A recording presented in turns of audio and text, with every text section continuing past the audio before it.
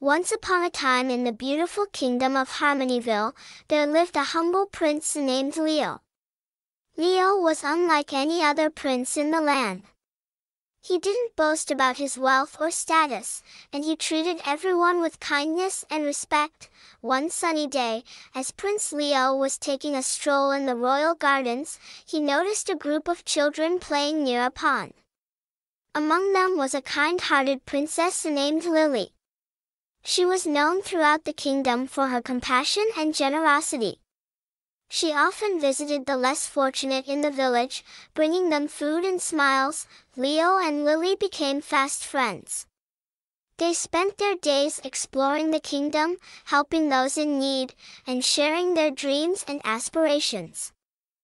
They both had a deep desire to make the world a better place, one evening, as they watched the sunset from the palace balcony, Leo said, Lily, I've always believed that kindness and humility are the greatest treasures a person can possess.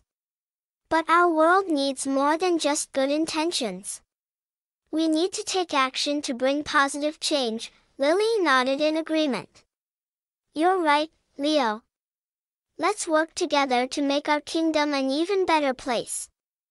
And so, Prince Leo and Princess Lily set out on a mission to improve their kingdom. They organized food drives for the hungry, built schools for the underprivileged, and planted trees to protect the environment.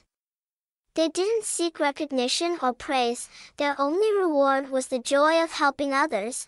Word of their selfless deeds spread throughout the kingdom, inspiring people to join their cause. Soon, Harmonyville was known not only for its beauty but also for the kindness and generosity of its rulers. Years passed, and Prince Leo and Princess Lily ruled the kingdom with love and compassion. Their humble and kind hearts had brought peace and happiness to their people. One day, a wise old sage visited the palace and said, Prince Leo and Princess Lily, you have shown that true greatness lies in humility and kindness. You have not only enriched the lives of your subjects but have also set an example for the world. The sage's words resonated deeply with Leo and Lily. They realized that their true wealth was the love and respect of their people and the happiness they had brought to their kingdom. And so, the humble prince and the kind-hearted princess continued to rule with compassion, proving that true greatness is not measured by riches or power, but by the goodness of one's heart and the positive impact they have on others.